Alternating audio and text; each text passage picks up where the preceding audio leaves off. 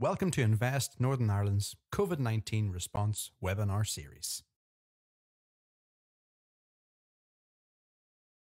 Good morning, everyone. My name is Deborah Johnston from Invest Northern Ireland, and I would like to welcome you all to our COVID 19 recovery webinar.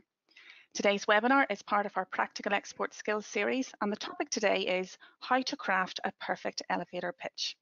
Our presenter today is Una McSorley from Marcomm Training.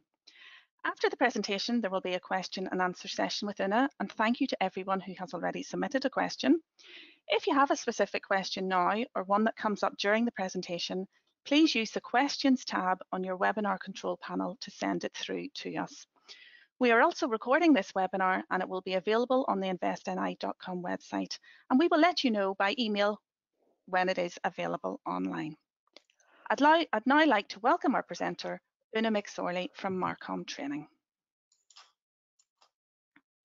Good morning, everybody. As Deborah said, I'm Una McSorley, and one of the areas that I specialise in is helping companies to pitch their product or service.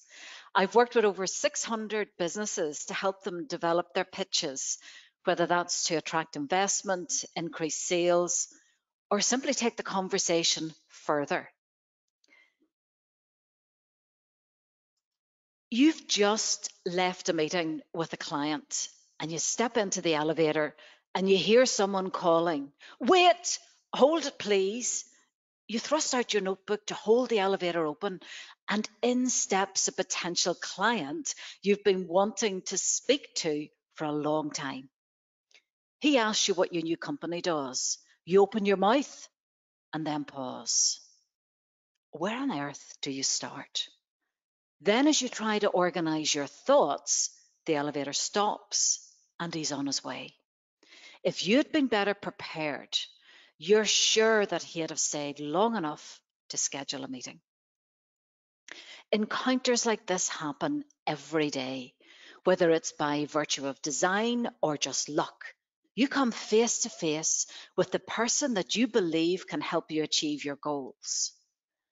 The problem is, too few people people are prepared to deal with such a situation.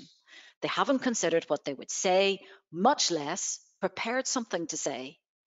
As a result, instead of capitalizing on the opportunity, they just let it walk out of the door. My goal today is to ensure that you know how to handle yourself in a situation like this. If you've just a minute or two to catch the attention of the person you will know what to do and you will know what to say.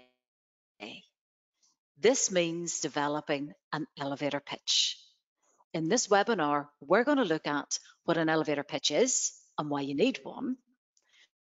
We're then going to look at how to create your own elevator pitch that leads you to much more quality conversations.